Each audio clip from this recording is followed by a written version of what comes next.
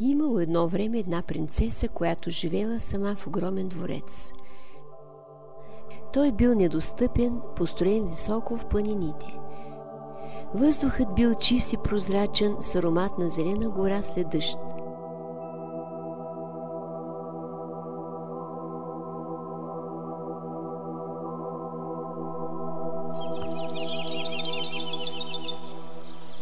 На входа на дългата крепостна стена, която го обграждала, била изградена висока порта. Тя била винаги заключена. Тази принцеса се чувствала потисната.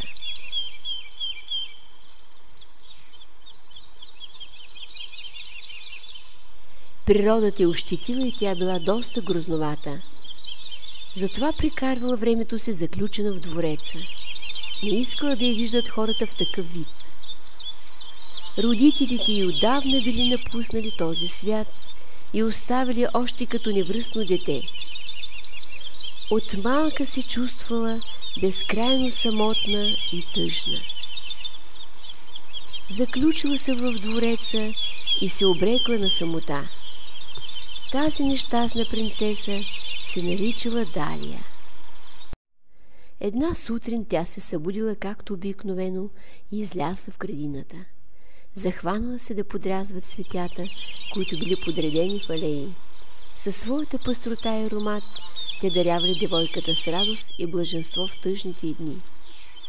Тя обичала да се грижи за тях. С голямо удоволствие ги галила и им говорила. Мили цветенца, как искам да бъда като вас, толкова красива и нежна. Постригвала ги тя с градинската ножица.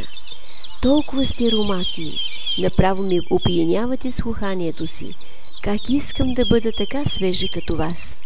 Продължавала да им говори и ги поливала с лейката.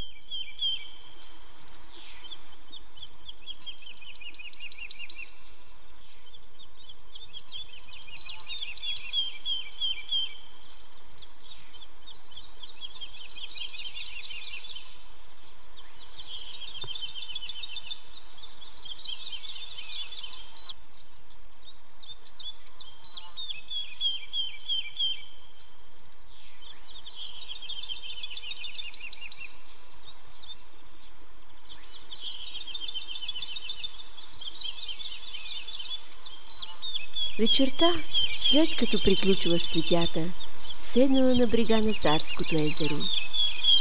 Веднага се струпали край нея белите лебеди, които гордо плували наоколо. Далия хвърлила щедро житни зранца и говорила с много обич на големите птици. Толкова сте грациозни, с невероятната си белота, изглеждат и кристално чисти и толкова свободни. Как искам да бъда като вас? Подала ръката си и погалила най-смелия лебед, който приближил до нея.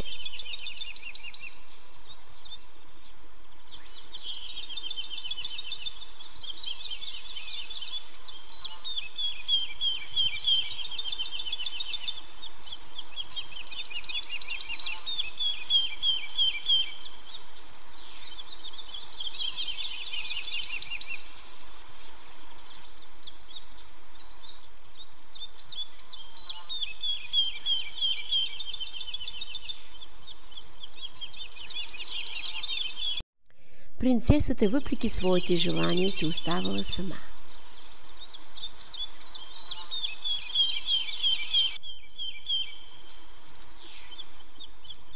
В този дворец нямало никой друг, освен цветята, лебедите и тук-там някое скукливо връбче.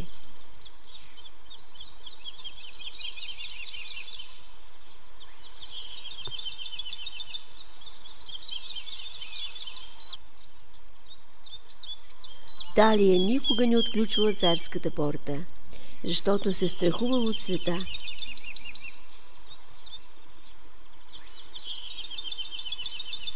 Тя си мислила, че в него няма място за грозни принцеси.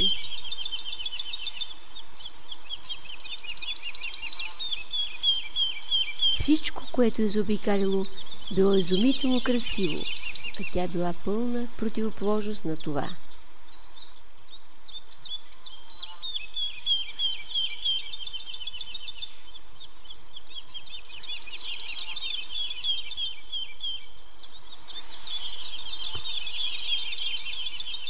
Като се оглеждала в огледалото, се отчаивала и все повече се натъжавала.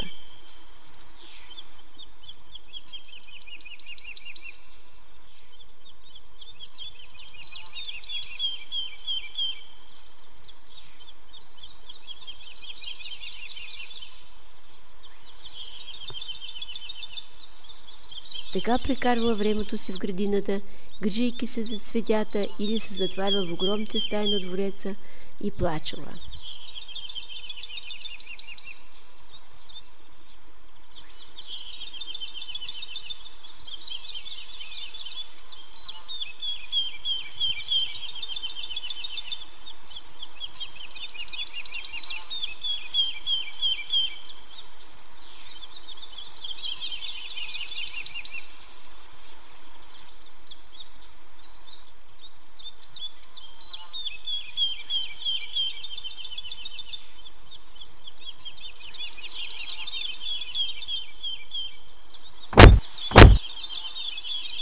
Един ден, докато се разхождала в градината на царската порта, се почукало.